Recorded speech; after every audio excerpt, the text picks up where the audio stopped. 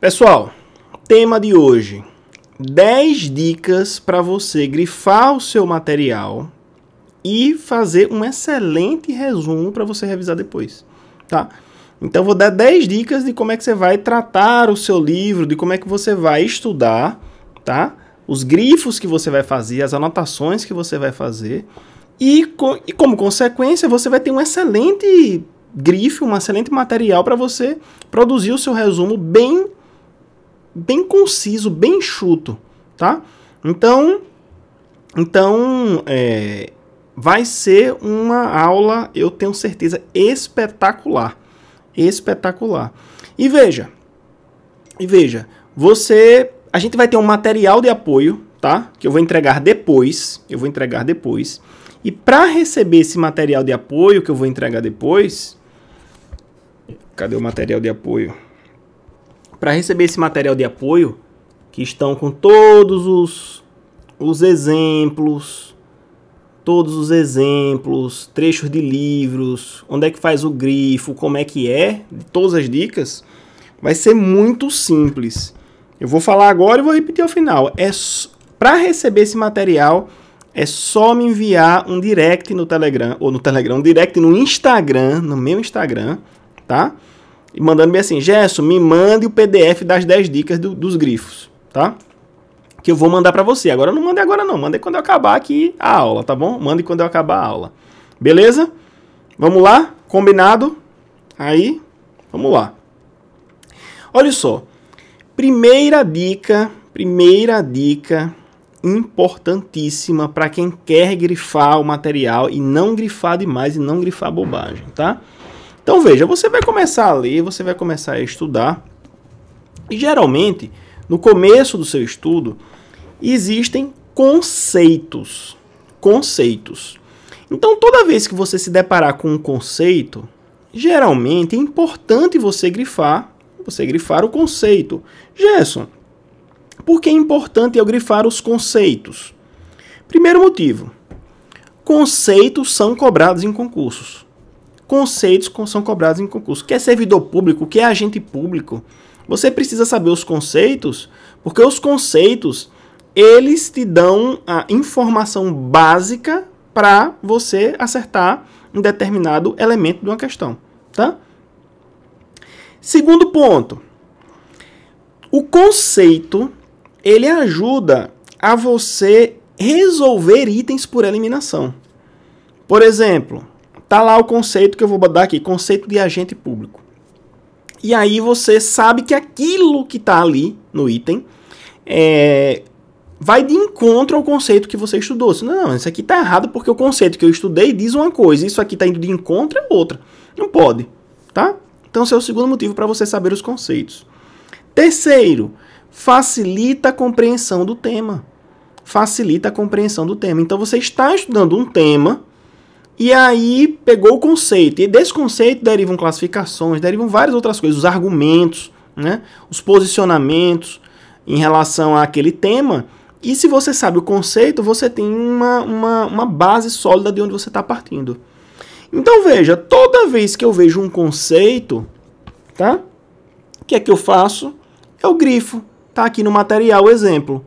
Então, Veja aqui o exemplo do material. Tá aqui, ó, conceito de, de agente público. É, eu grifei, tá? Viu aqui como é que é o grifinho?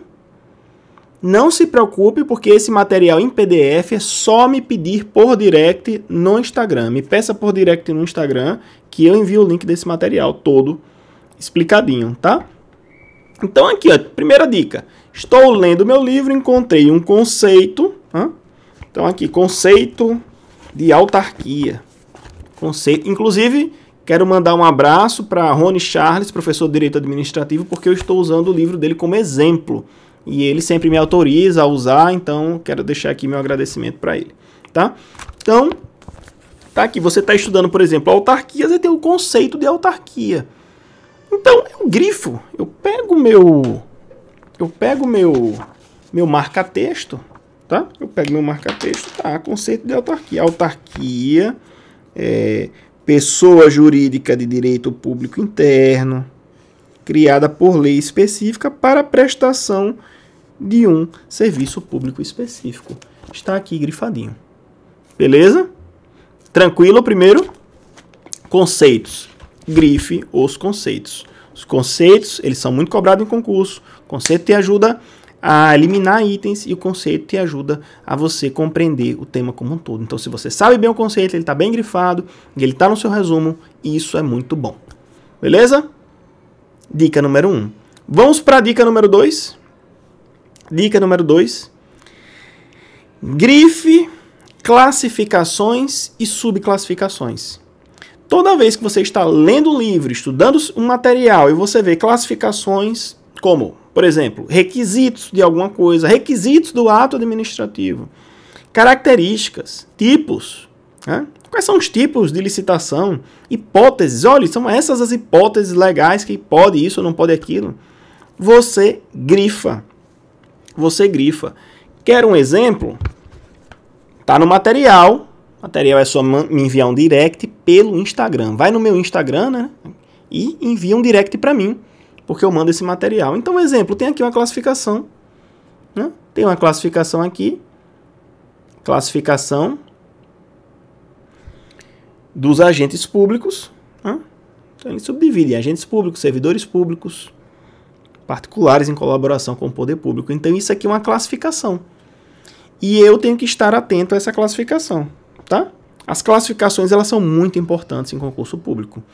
Se eu pudesse definir, e quando você está lendo um livro, as duas coisas mais importantes de quando você está lendo um livro são conceitos e classificações. Conceitos e classificações te salvam em um concurso público. Só um exemplozinho aqui para você. Quando eu fui fazer minha prova oral para defensor público aqui em Sergipe, caiu uma pergunta que eu não sabia a resposta. Né? A pergunta foi inclusive assim: olha, um caso prático, né? Ah, o menino estava no colo do pai e aí estava dirigindo, tipo o que eu faço com o Juju no condomínio, né? Mas lá era em via pública, aqui é em via privada. E aí estava dirigindo com o menino no colo, né? O filhinho no colo. E aí ele perguntou: "Bom, isso é crime de perigo abstrato ou crime de perigo concreto?", né? E eu não sabia se era crime de perigo concreto ou abstrato naquele caso em específico, tá? Se você não conhece direito, não se preocupe, é só um exemplo, tá? E mas eu sabia o conceito de crime, eu sabia as classificações de crime, eu sabia o conceito de crime de perigo concreto, eu sabia o conceito de crime de perigo abstrato. E com os conceitos e as classificações, eu tirei 5. Valia 10, tirei 5. Se eu tirasse menos que 5, 4,9, estava reprovado. Estava reprovado, tirei 5. Na verdade, eu tirei 4,95 e ganhei 0,05 no recurso. E aí fui aprovado. Tá? Então, assim, o, conce o conceito e a classificação me salvou. Então, grife, conceitos classificações. Tá? Então, grife, classificações, requisitos, características, hipóteses. Dica número 2. Beleza? Tudo ok até aqui? Vamos para a dica número 3. Vamos para a dica número 3. Onde baixa o material da live? Quando acabar a live, me envia um direct aqui no Insta. Envia um direct para o meu Insta. Gerson, me envie o, o material da. Eu quero as 10 dicas, o PDF das 10 dicas, da, das 10 dicas de grifo que eu mando para você. Tá bom? Tá tranquilo? É assim que você vai receber o material. Se você está assistindo no YouTube depois da gravação, é, vai no meu Instagram, vá no meu Instagram e me manda um direct que eu mando para você essa, esse PDF, tá bom? PDF aqui, olha. Todo bonito, todo organizado. E nós vamos para a dica número 3. A dica número 3 de grifo, né? Olha só. Muitas vezes os, o material que você recebe ele não tá um primor de organização, tá? Ou às vezes o autor não acha é, necessário fazer uma pontuação é, tão específica, porque para ele aquilo é uma lógica, tá, ele está trazendo vários argumentos em relação a um determinado ponto. Só que para a gente que quando está lendo pela primeira vez, está estudando pela primeira vez, aquilo pode ficar um pouco confuso, um pouco complicado. E para não ficar complicado, você pode numerar e grifar aspectos do livro, os argumentos. Então vamos um exemplo. Vamos um exemplo. Ficou até mais ou menos aqui. É aqui eu peguei o regime jurídico do servidor público. Então o autor trouxe muito bem. Só que ele não especificou, ele foi trazendo argumento 1, argumento 2, argumento 3, aqui em cima. Olha, o argumento 1 ele botou aqui, o 2 aqui, o 3 aqui. O que foi que eu fiz? Eu peguei e botei 1, grifei, 2, grifei, 3, grifei. Então, quando eu for fazer o meu resumo e eu quiser saber o, os argumentos em relação aqui a a direito adquirido em relação ao regime jurídico, que foi isso que coloquei aqui, para servidor público, eu sei os argumentos que dão sustentação àquele posicionamento, que é o posicionamento que eu preciso saber. Agora eu não vou catar lá no livro. Não. Eu já grifei e já numerei. Argumento 1, argumento 2, argumento 3 e está grifadinho. Então, os argumentos estão aqui, ó. Argumento 1, 2, 3, grifadinhos. Na hora que eu for mais à frente fazer o meu resumo, tópico tal, quais são os argumentos? Argumento é esse, argumento é esse, argumento é aquele. Tá bom? Perfeito? Tudo, tudo ok até aqui? Tudo ok? Tá? Essa é a dica número 3, né? você colocar, enumerar um, dois, três argumentos. É, às vezes está confuso, você quer numerar para saber, tá? Esse exemplo que eu dei foi dos argumentos. Dica número 4. Dica número 4. Digam para mim se isso não está sendo. Se vocês estão gostando ou não estão. Comente aqui embaixo se vocês estão gostando. Se tá legal, tá? Dica número 4 anotação na margem. Anotação na margem. Veja só. Quando a gente está estudando um determinado tema, tá? Você precisa saber a ideia central de cada pedaço do parágrafo. Às vezes o autor é um conjunto de parágrafos, tá? Você precisa saber a ideia central. Você pode colocar à margem um pequeno texto com as suas palavras que resumam a ideia central do que você do que você leu, tá? Outra coisa que você também pode colocar à margem é números, prazos. Exemplo. Exemplo. Olha só. Tá aqui no livro, né? falando de prorrogação de concurso público, né? É, o prazo de validade do concurso público 2, podendo ser prorrogável por até igual período. É, no caso aqui, 2, se for 2, né? Então eu coloco aqui no cantinho, olha, 2 mais 2. 2 mais 2. Então, fica muito fácil quando eu voltar aqui para fazer o meu resumo, que o período do concurso público, né? Dois anos. Podendo ser prorrogável por mais dois. É muito claro e eu acho fácil.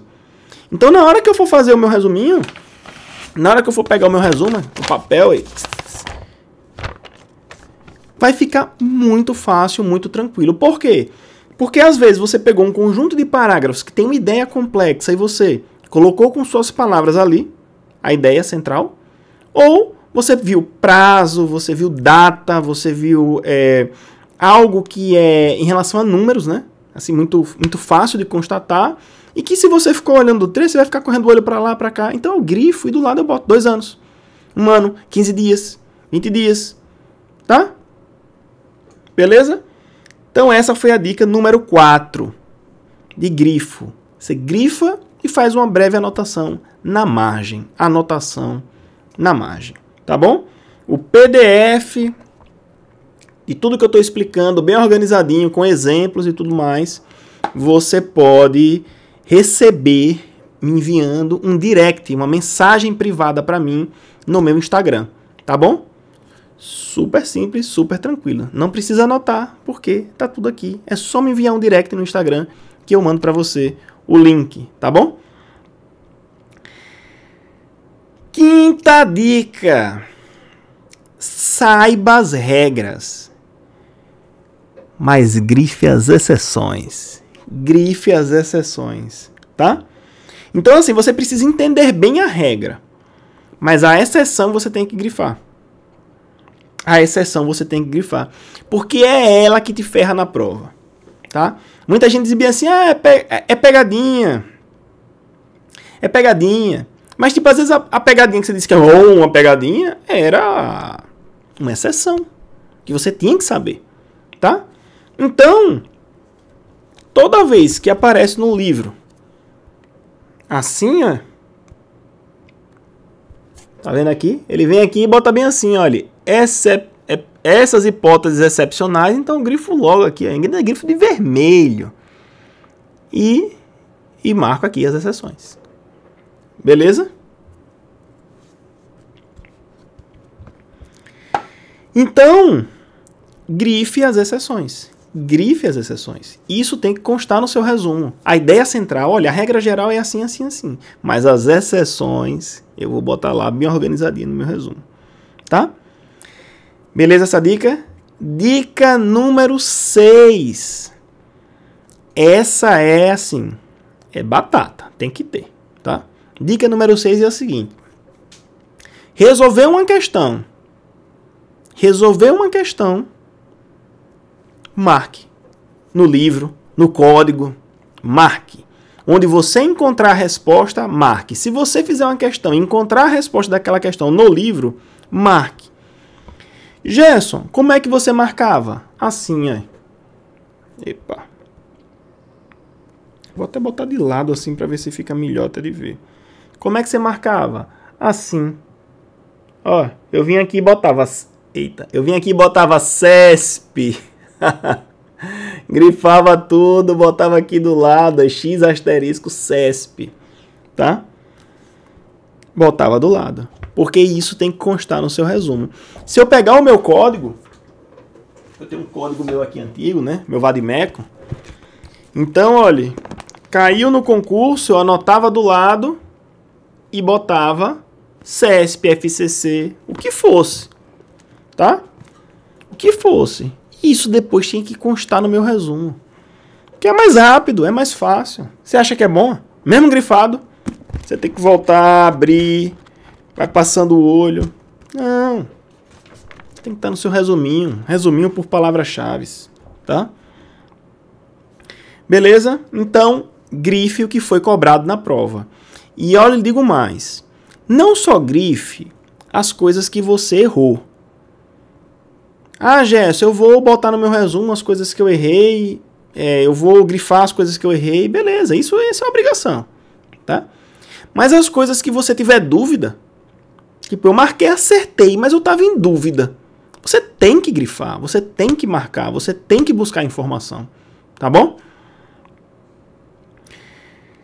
Dica número 7. Dica número 7. Tabelas. Tabelas.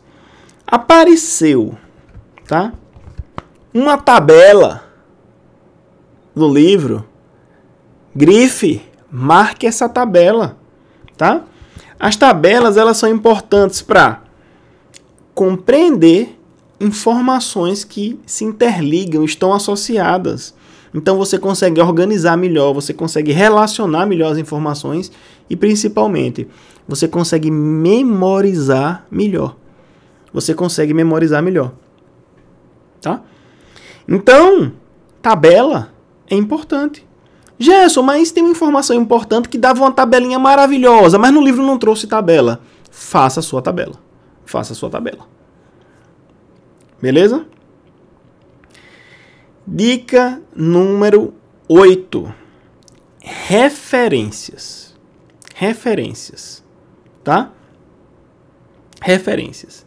Olha, livros jurídicos eles geralmente eles fazem referências, referências a artigos, a súmulas, a jurisprudência, tá? Então assim, toda vez que você vê uma referência que é importante, vá na referência, grife a referência. Geralmente artigo. Então, o autor está lá explicando e ele fala, ó, esse artigo, esse artigo, esse artigo.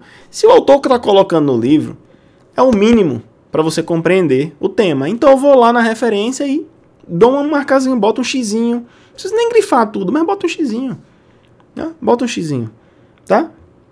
Então vá atrás das referências. Grife as referências, tá bom? Dica número 9. Estão acompanhando tranquilinho? Tá tranquilo? Vocês vão receber o material, tá? É só me enviar um direct no Insta.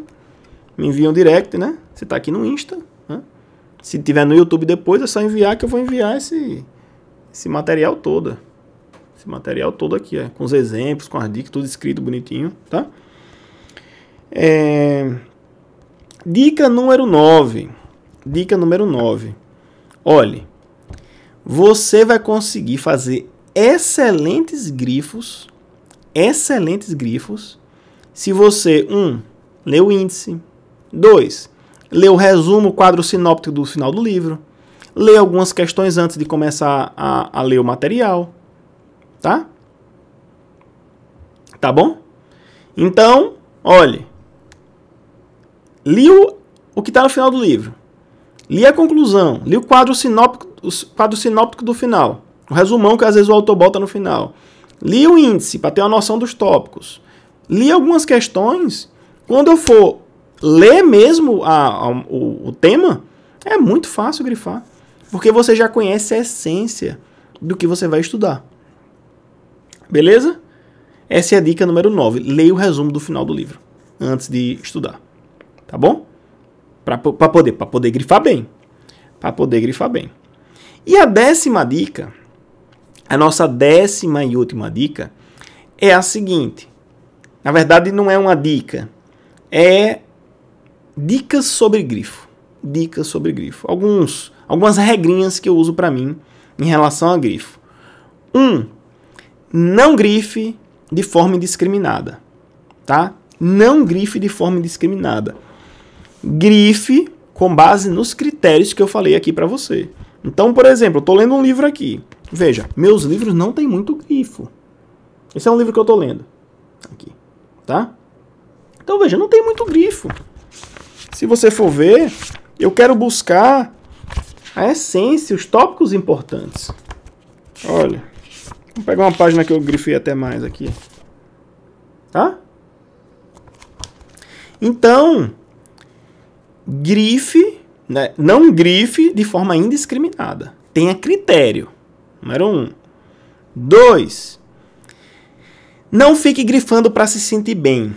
Tem gente que grifa para se sentir bem. Ah, tô grifando. Pega o livro.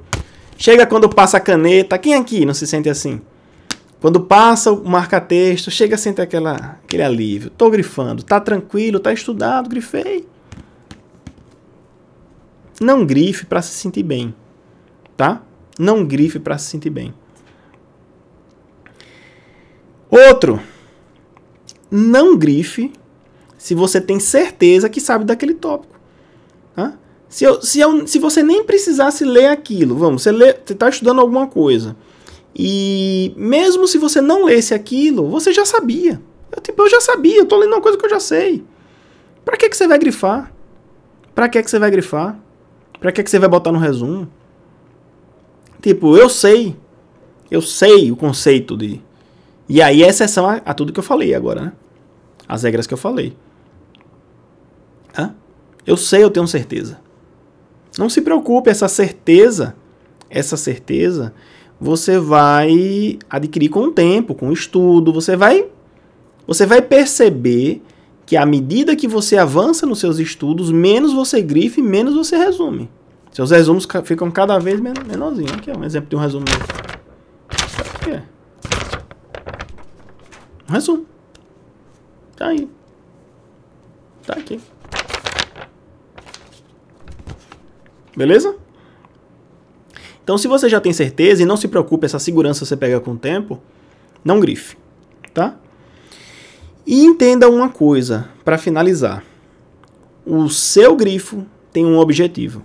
O seu objetivo é fazer um bom resumo. Então, se você grifa bem, você resume bem. Se você grifa mal, você resume mal. Ponto final. Beleza? Recapitulada geral. Dica número 1: um, grife conceitos. Dica número 1: um, grife classificações e subclassificações. Dica número 3: grife e enumere para organizar o conteúdo. Dica número 4, grife e faça anotação na margem. Dica número 5, saiba a regra, mas grife as exceções. Dica número 6. 6. Grife o que foi cobrado na prova. Dica número 7. Grife tabela. Gri... Dica número 8. Grife referências. Dica número 9. Leia o final do livro, a conclusão, o resumo do final do livro, para saber a essência e grifar melhor. E número 10. Não grife de forma indiscriminada. Não grife para se sentir bem. Não grife que você tem certeza que já sabe. E lembre-se que seu, o objetivo do seu grifo é facilitar o seu resumo. Beleza? Gostou? Eu disse que essa live ia ser boa, viu? Eu disse que essa aula ia ser boa. Eu disse. Tá? Gerson, quero receber esse PDFzinho com seu esqueminha todo aí, tudo bonitinho, as dicas com os exemplos, né? Os exemplos eu botei desse livro aqui, tá? Meu amigo Rony Charles.